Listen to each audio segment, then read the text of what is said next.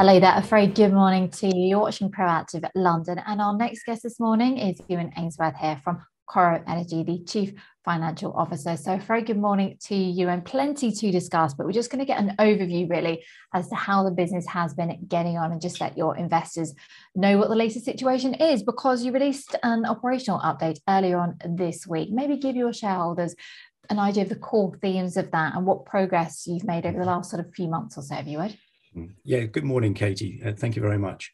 Um, well, I think we, as we announced uh, earlier this week, um, we're in a strong financial position. We have 2.8 million US dollars in our bank account, which was in the middle of April, the 12th of April to be exact.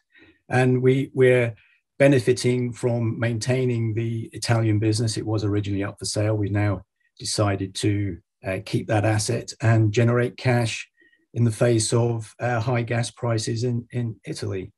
Um, we, we have a number of initiatives underway in order to uh, increase production from various different uh, producing fields that we have in Italy. We have six licenses in total. We're currently producing from two, and we're going to be looking at uh, work programs to either increase production from those assets, uh, particularly Rapagnano, um, where we've done some downhole uh, work recently, which is was very positive, both in terms of the reserves but also we think we can actually increase production from, from that field. There's also Casa Tiberi. Uh, that has had some production issues uh, recently. Um, it's been producing at very, very low levels. And again, we did some downhole investigations and we found that the sediment in the well. So we're going to clear that out and, and uh, hope to uh, get back to uh, historical uh, production rates in that field in the very, very near future. We also have some, some other projects in Italy, uh, more uh, medium term projects uh, on some of the other licenses. So, what we anticipate as we start to, if you like, re engage with this asset, because as I mentioned, it was originally up for sale, that we're going to have a, a series of uh, downhole initiatives to bring production from all of these assets online. But as I, as I mentioned, some of that's more near term.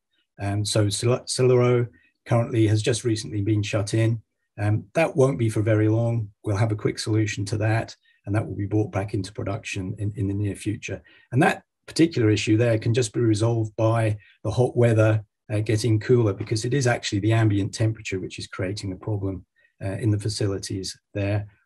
Looking to increase production from Rapagnano and also Casa Tiberi in the near future. So the, the cash engine uh, of Italy, as it is at the moment, looks, looks very positive for us. And as always, there are, there are issues around uh, maintaining production.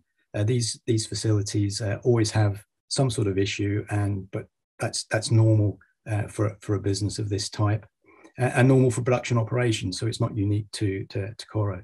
Uh, looking at uh, Vietnam, we've recently signed a, a, three megawatt solar project there. Um, that will be very quickly installed. We're just ordering the solar panels as I speak. Um, and then once those are in country, which will only take a few weeks, we'll be looking to uh, get those on the on the rooftop of, of the factory.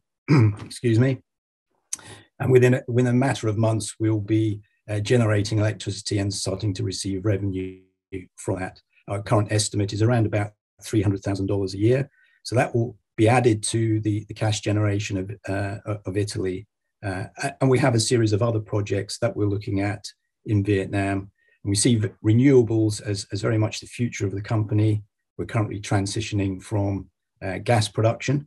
Um, we also have um, the, the asset in the Indonesian waters called uh, the Mako gas field, the Duyung PSC. That's currently uh, negotiating a gas sales agreement. Uh, we that's in the latter stages of that process. So we expect at some time this year to announce good news on that front, and that will really if you like, create the catalyst or bring all the different components uh, for approving a field development together, which we anticipate in the early part of uh, 2023. And that's a large gas field. We have 15% share, 495 BCF of gas, close to existing pipeline infrastructure and ready markets in, in, in Southeast, Southeast Asia for the gas. And that project is looking um, much more valuable today than it was uh, just uh, a year or two years ago with again the, the consequent consequent increase in in uh, energy prices. So I think that's a quick snapshot of, of where Coro is at the moment. Very much focused on immediate cash generation in Italy, but we have the the other projects which are going to come on both in the short term and the medium term um, going forward. So I think uh, all of these things combined help address some of our cash needs, but we are a growing uh, business, investment led, very much so in, in, in, the case of the Duyung PSC Mako gas field in, in Indonesia. All right. Well, thank you very much indeed. A thorough update on your portfolio there. That's Ewen Ainsworth here on Proactive London from Coro Energy. Thank you very much.